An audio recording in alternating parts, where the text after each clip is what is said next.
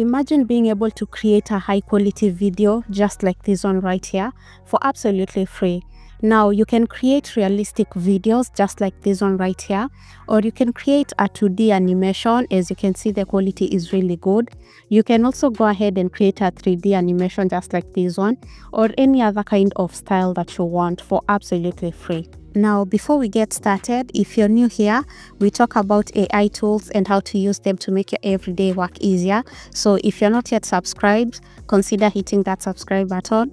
And also remember to like and share this video so that more people can benefit from it. Without wasting time, let's get started. Now the first thing that you'll want to do is go over to google and you can go ahead and search for this website right here. I'll leave the link to this in the description box below. So once you're here you can sign up using your gmail account or any other email address that you have. As you can see they have a really simple interface. Right here you'll see all your charts. Next you have the model. You can go ahead and select the model according to what you want to use the tool for.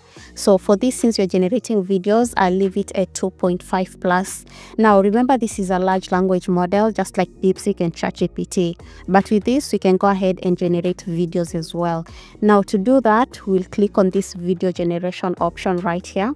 So right here you can see examples of videos that you'll be able to create this tool. Now you can go ahead and choose the aspect ratio of the video that you want to go ahead and create and you can do that by clicking on this drop down menu right here. As you can see there are several options that you can choose from. So in this case i'll go ahead and choose 16 is to 9 since that is the size that i want to use next you need to go ahead and input the prompt of the of the video that you want to go ahead and generate. So this is where you're going to input your prompt right in this prompt box. So let's just go ahead and do that. And to start i'll just go ahead and input a very simple prompt. I'll say i want a cartoon video of a boy that is walking his dog in the park so once that is done now click enter and the video generation process will start. So this is actually going to take a couple of minutes. So i'll just go ahead and fast forward this part.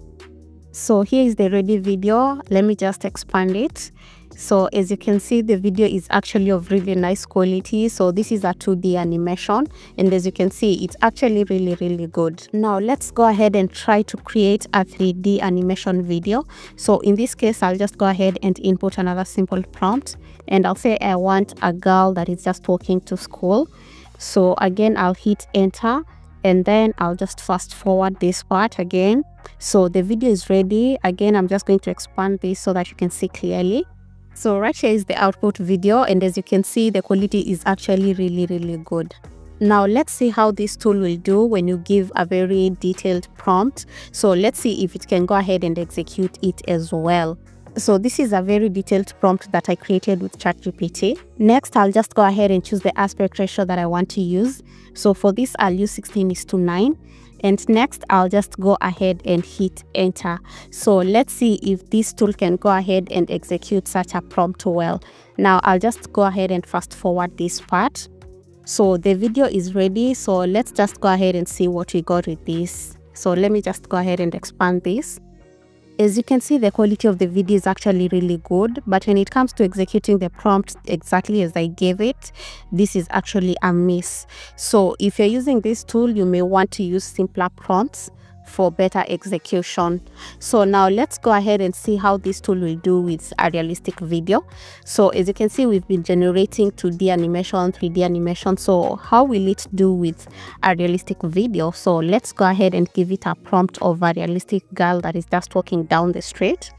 So again, I'll just go ahead and hit enter and then I'll just go ahead and fast forward this part.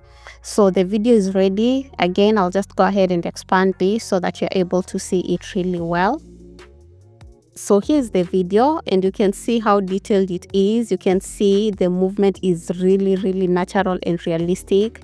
You can even see the phone that is reflecting the light in her face. Like the video is really really good. So i'm actually really impressed with this. So now i'll just go ahead and input our last prompt. So let's generate one last video. And in this case i want it to be a realistic video. I want to see if it can actually do as well as the previous video. Or maybe we'll see maybe the previous video was just a fluke. So let's hit enter and again i'll just fast forward this part to the part where the video is ready. So let's go ahead and expand this again and let's see how it did. Again you can see that this video is actually very very realistic. The prompt execution is on point. So if you really want to do well with this tool i think you should just go with simple prompts. Don't try to overcomplicate it so that's it for today guys. Thank you so much for watching. If you have any questions about this or insights or concerns make sure you put that in the comment section below. I'll be more than happy to get back to you on it. So go ahead and try this tool. Let me know what you think. And i hope to see you in the next one. Bye bye